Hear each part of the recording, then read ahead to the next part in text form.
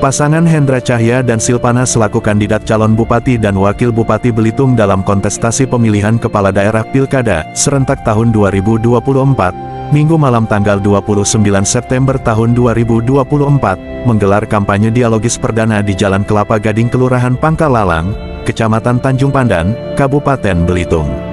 Kegiatan kampanye dialogis perdana yang digelar pasangan calon paslon dengan tagline berhasil ini dihadiri calon wakil gubernur Bangka Belitung, Babel Heliana yang merupakan pasangan calon gubernur Babel Hidayat Arsani. Tim pemenangan insya Allah berhasil, pengurus partai politik koalisi pengusung, tokoh masyarakat serta warga kelurahan Pangkal Lalang. Kampanye dialogis ini dibuka oleh Ketua Harian Tim Pemenangan Insya Allah Berhasil, Junaidi M. Tamin selaku pembawa acara. Kemudian dilanjutkan sambutan Ketua Tim Pemenangan Insya Allah Berhasil, Taufik Rizani yang memperkenalkan paslon Bupati dan Wakil Bupati Belitung dengan nomor urut 3, yang diusung PDIP, Partai Golkar, Partai Hanura dan P3. Selanjutnya, Hendra Cahya selaku calon Bupati Belitung dalam kampanye dialogis tersebut memperkenalkan diri sebagai salah satu kandidat dalam kontestasi Pilkada 2024, menyampaikan visi misi dan program paslon berhasil untuk menuju Belitung Baru, serta memohon dukungan masyarakat untuk memilih paslon berhasil pada tanggal 27 November tahun 2024 mendatang. Dalam kesempatan ini kami juga ingin Betare untuk maju di kontestasi Pilkada 2024, menjalankan amanah partai politik pengusung sebagai calon Bupati dan Wakil Bupati Belitung. Untuk itu mohon doa dan dukungan masyarakat Belitung, khususnya Pangkal Lalang ini untuk mencoblos pasangan berhasil pada tanggal 27 November tahun 2024 nanti, sebut Hendra Cahya. Senada, Silpana selaku calon wakil Bupati Belitung dalam kampanye dialogis tersebut juga memperkenalkan diri serta memohon doa dan dukungan masyarakat Kabupaten Belitung untuk memilih pasangan berhasil dengan nomor urut 3. Sebagai seorang politisi, Silpana mengatakan siap berkolaborasi mendampingi Hendra Cahya yang sudah berpengalaman sebagai birokrat. Pasangan berhasil ini merupakan pasangan calon yang ideal, di mana Pak Hendra seorang birokrat yang sudah berpengalaman dalam pemerintahan dan saya seorang politisi yang akan berkolaborasi mendampingi beliau. Kami mohon dukungannya dan kami harap pulang dari sini, Bapak Ibu dapat menyampaikan kepada teman dan kerabat untuk mencoblos pasangan berhasil, ujar Silpana.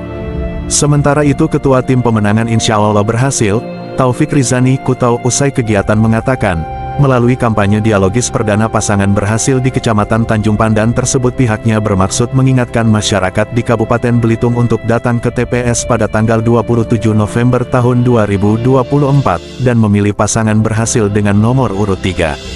Pertama itu, kami ingin mengingatkan dan mengimbau seluruh masyarakat di Kabupaten Belitung sebagai pemilih yang berjumlah 139 ribu ini, untuk datang ke TPS pada tanggal 27 November tahun 2024, agar jangan sampai masyarakat tidak menggunakan hak pilihnya.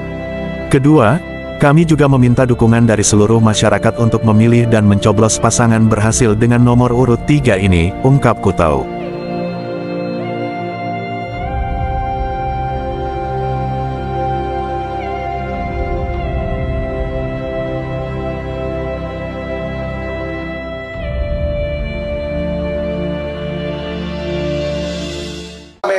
Masyarakat Belitung, khususnya Pangkalalang, ya, khususnya Pangkalalang menganggap kami berdua ini mampu, ya nak?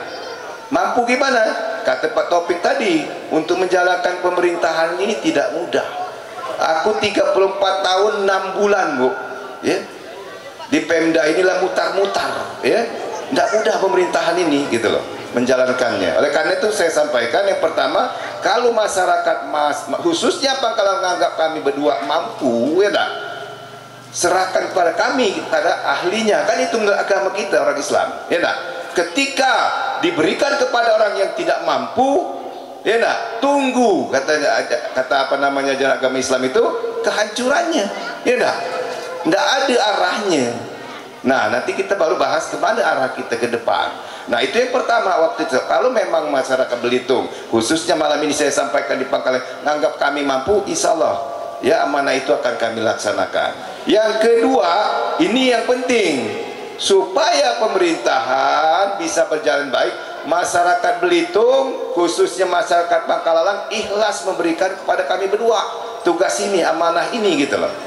Kalau ndak ikhlas pasti di belakang ada ndak lurus ya nah?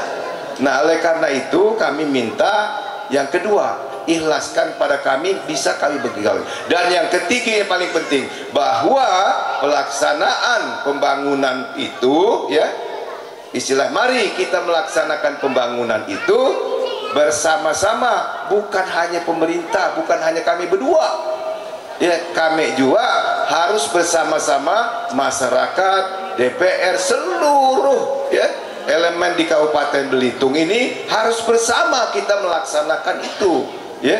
Kalau itu kita laksanakan semua maka kita harus transparan dan sebagainya. Oleh karena itu ke depan memang kami ada program transparan. Kita akan melakukan pertemuan seluruh elemen masyarakat. Bukan hanya Nok Belitung kita harapkan kita lah canggih masyarakat di Jakarta dan bahkan no ada di Cina.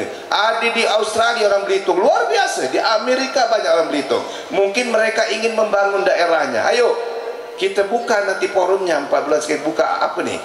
Karena kami tahu bahwa kalau kita melaksanakan itu hanya dengan APBD selama ini itulah yang kira tapi masih banyak potensi di luar APBD dana dana hibah. Mungkin di luar banyak pengusaha kita orang Belitung no hebat-hebat nih banyak no pintar-pintar di luar banyak.